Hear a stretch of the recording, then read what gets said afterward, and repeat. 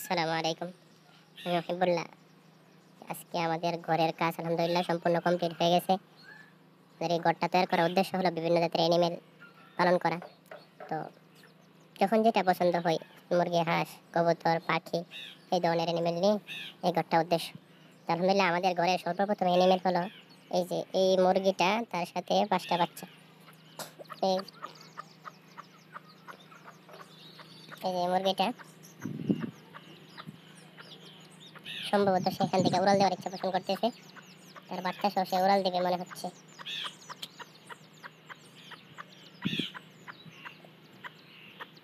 সে যাই হোক, তো প্রথম এনিমেল এই মুরগিটা ছিল, দ্বিতীয়ত আলহামদুলিল্লাহ আমরা আগামীকালকে এই যে পাঁচটা রাজা হাঁস ক্রয় করছি, যেগুলো দেখতে মাসাল্লাহ খুবই সুন্দর। এই যে চারটা আরেকটা এই দিকে এই রাজা হাঁসগুলো এবং তার সাথে আমরা এই আগামী গতকালকে গতকালকে এখানে কবুতর ঢুকাইছি।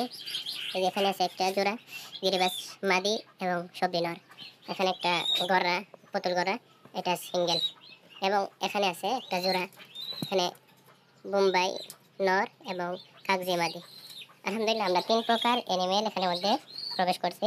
ইনশাল্লাহ আমরা আজকে এই গল্প পরিষ্কার করা এবং তার সম্পূর্ণ কাজ ইনশাল্লাহ কমপ্লিট হয়ে যাবে এবং আমরা এনিমেলদের জন্য সুন্দর একটা ব্যবস্থা করছি যে এখানে কুশলের ব্যবস্থা করছি।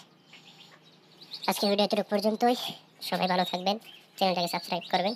বাই বাই, টাটা, সালামু আলাইকুম।